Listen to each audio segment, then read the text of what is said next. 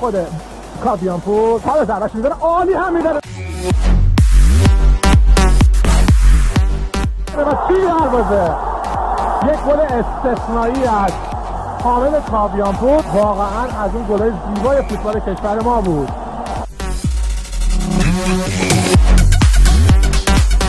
یک نگاه کنید که چه می‌کنین حامد کابیانپور تا پنج بازیکن جا با این ضربه دیدنی